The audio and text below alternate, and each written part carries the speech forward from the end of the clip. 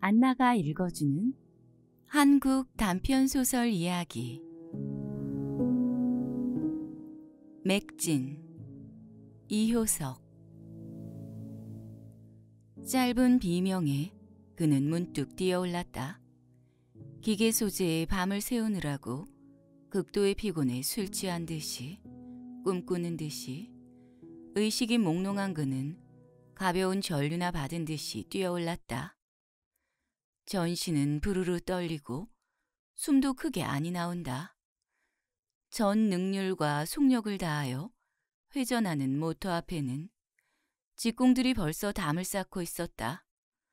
또 그의 결론은 전류와 같이 빠르다. 또 기계의 희생이 된 것이다. 그러나 누가? 순간 호기심보다도 불안과 공포의 염이 그를 꼭 잡았다. 직공들은 물론 기사들도 감독들도 벌써 모여 있었다. 그도 간신히 그 틈에 끼어서 그 희생자를 목격할 수 있었다. 그는 또다시 가벼운 전류를 받았다. 전신은 잠깐 동안 화석이 되었었다. K일 줄이야. 그는 그의 마음에 착각이나 아닌가 의심하고 또 한 번 들여다보았다. 그러나 어찌할 수 없는 현실. 또다시 거대한 현실의 힘이 그를 꽉 잡았다. 피의 세례를 받은 듯이 그는 전신 피투성이를 하고 엎어져서 고통에 신음하고 있다. 푸른 얼굴은 헬스카여지고 눈은 움푹 파였다. 전속력으로 돌아가는 바퀴에 쓸려 들어가서 넘어진 것인 줄을 즉시 알았다. 그 지옥의 고통을 목격하였을 때 그는 등날에 새파란 칼날이나 받은 듯한 촉감을 느꼈다. 누구나 그 국면을 어떻게 대처하면 좋을까도 아무 선우책도 모르고 그의 고통을 인용하는 듯이 묵묵히 목격하고 있을 따름이다. 무서운 불안과 동요가 주위를 둘러싸고 그들도 이제 숙명적으로 저렇게 될 것이요. 그것도 멀지 않다는 것을 의식하였을 때에는 아마만 절망의 빛이 돌았다. 마수같이 괴물같이 공장 한복판에 군림하고 있는 시커먼 모터는 아무 변화도 안 일어난 듯이 여전히 밉살스러우니만큼 태연이 돌고 있다.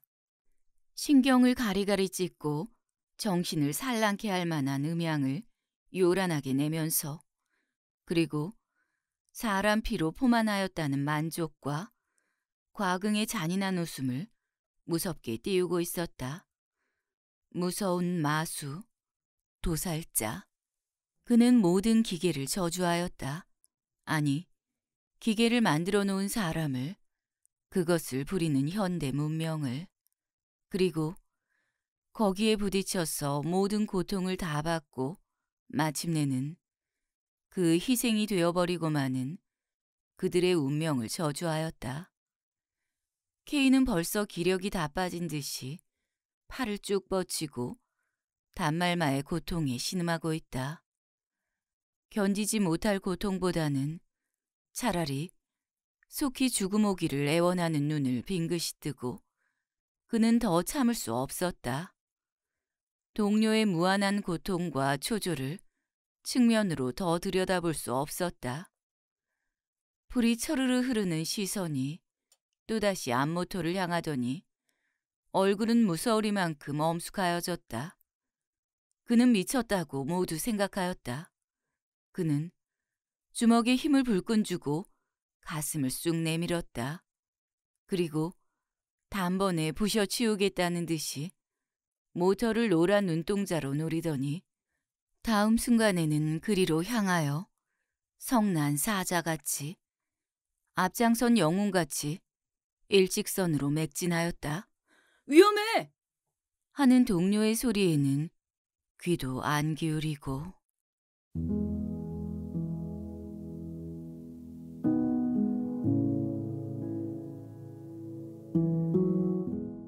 필요 이효석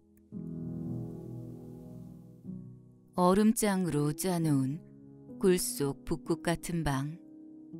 그 속에 시간이 가고 주림이 오고 무서운 적. 추움은 가길가기로 그들 그의 철을 씹어먹으려 한다. 그는 혼까지 얼어버렸다. 다만 아직도 살아있기는 하지. 하는 희미한 의식밖에는 아무것도 없다. 방 한쪽 구석에서 마저 마저 죽어가려는 처는 어떻게 되었던가? 아니 벌써 죽지 않았나? 죽음? 차라리 죽음이 오너라. 죽음은 안식이고 영원의 망각이라. 저도 죽고 나도 죽고. 아니, 나는 눈이 있고 손이 있고 발이 있지. 그런데 그대로 죽어? 나무, 불. 그래, 나무만 있으면. 바람은 천지를 뒤집으려는 듯이 불고 추움은 점점 협박하여 온다. 아니, 나는 어리석게도 무엇을 생각하고 있었나? 그는 새로운 자극이나 받은 듯이 자아에 돌아오면서 중얼거린다. 지금은 생각할 때가 아니다.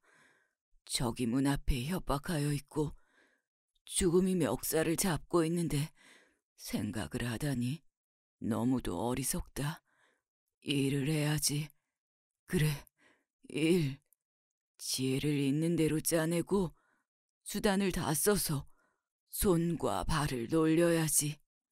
거기까지 생각하여 왔을 때 그의 두뇌 속에서 무서운 희망의 빛이 번득였다.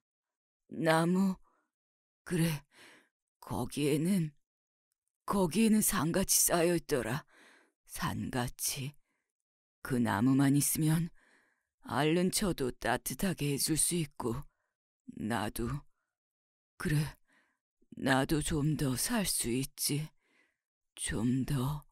하며 그의 양팔은 무의식적으로 허공을 껴안았다. 그러자 그의 얼굴에는 무서운 결심의 빛이 보였다. 웅크렸던 몸을 쭉 펴고 우선 처에게 시선을 부었다. 하늘 밑에 하나인 사랑하는 저를 얼어 죽이는 나야말로 참 못생긴 녀석이다. 그러나 그렇게만 말할 수 없었겠지. 어떻든 용서해다오. 하는 말마디가 마저 목을 넘으려 하였으나 갑자기 감상적 정서가 그의 목을 꾹 눌러 거의 눈물까지 나오려 한다. 그러나 다음 순간에 억지로 그는 새 정신을 돌려 아니 이제 불을 갖다 주마 불을 하며 애달픈 위안과 힘없는 자신을 남겨놓고 굴속 같은 방을 나왔다. 독한 바람은 마치 그를 기다리고 있었던 듯이 칼날을 가지고 그의 볼을 에우려 하였다. 바람과 싸움하면서 걸어가려니 눈앞이 캄캄하였다. 지옥에 가는 듯도 싶었다. 필요, 생의 본능, 그야말로 무섭다. 그 앞에 무엇이 있으랴? 하느님도 전당, 지옥, 감옥도 아무것도 없다. 다만 절절한 필요, 불꽃 같은 생의 본능, 진실한 사람의 요구. 이렇게 그는 막연히 생각하였다. 그는 벌써 오려는 곳에 다 왔다. 그곳은 두어 집 걸은 이웃집이었었다. 반쯤 열려있는 대문을 가만히 들어서 눈이 켜놓았던 뜰 한쪽 구석까지 왔다. 산더미같이 쌓여있는 장작가지를 보았을 때 눈에 보이지 않는 악마가 갑자기 그의 목을 꼭 쥐어 가슴은 두근두근하고 심장은 벌떡벌떡하기 시작하였다. 가만히 있거라. 저기 누구야? 아니다.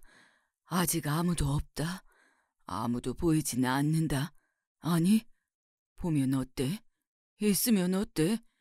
이후에 아무 일 일어나도 좋다. 철창? 콩밥? 그까진 다 무어야. 다만 지금만 살아가면 좋다. 지금만. 내일 모레 그걸 누가 알아? 다만 지금만 살아가면 뒤에야 아무 일이 일어나거나 마침내 그는 대담스럽게 나무에 손을 넘짓대었다. 그러나 그는 떨지 않을 수는 없었다. 아무리 마음을 단단히 먹기는 하였으나 전신이 무섭게 떨려져 왔다. 떨리는 손으로 떨리는 팔에 한 개비, 두 개비씩 옮기고 또 떨리는 손은 장작개비에 대었을 때 어쩐 일인지 빠지질 않았다. 그는 조급한 마음으로 있는 힘을 다하여 잡아당겼다. 그 순간이다. 뜰 안편에 무서운 음향을 진동시키고 위대한 산을 헐어버렸다. 세상은 끝났다고 그는 직각하였다. 그 다음 순간에는, 오, 그 다음 순간에는 마치 마술사의 그것과 같은 주인의 무서운 눈에 부닥친 그는 알재운 총끝에 받은 새와 같이 부르르 떨고만 있었다.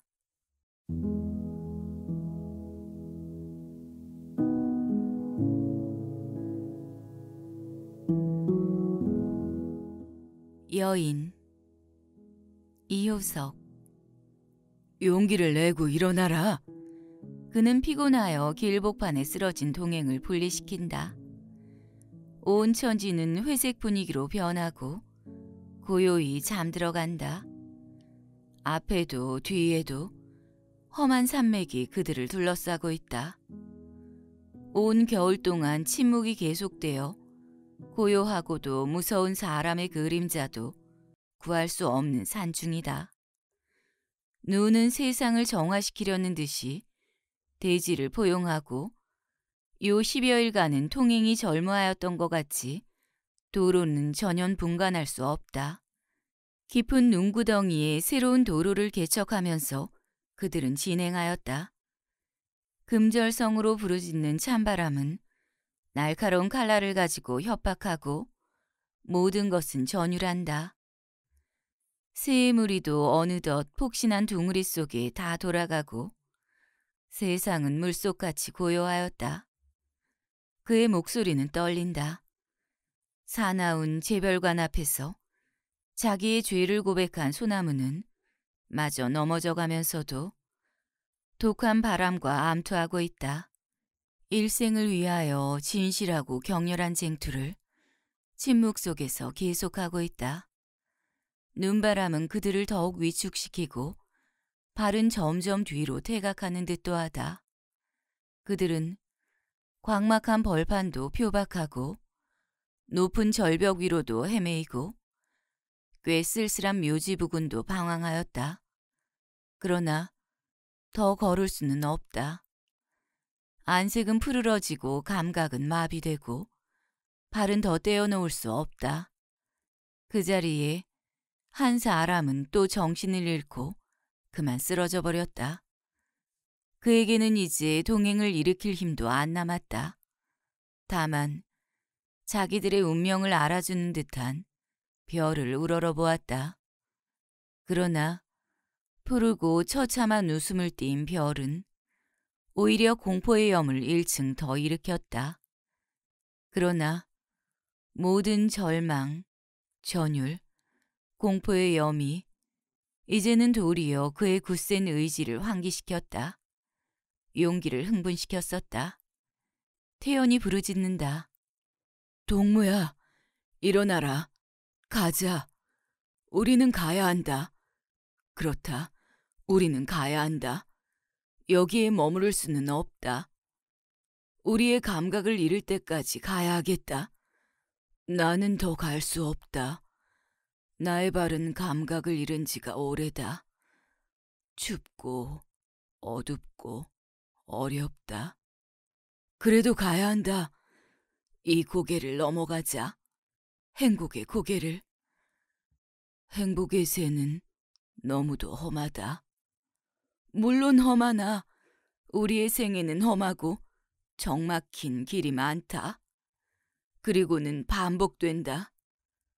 춥고 어둡고 어렵다. 그래도 우리는 가야 한다. 어디까지라도 아무리 하여도 우리는 여기에서 체제할 수 없다. 깊은 암흑의 바다에서 헤매일 순 없다. 밝은 곳으로 광명으로 돌진하여야 한다. 나가자, 동무야. 자, 나의 손을 붙잡아라. 그들은 역시 걸음을 계속하였다. 무거운 보조로 눈바람은 간단없이 휙휙 컹컹한 금은밤 속에 불고 있다.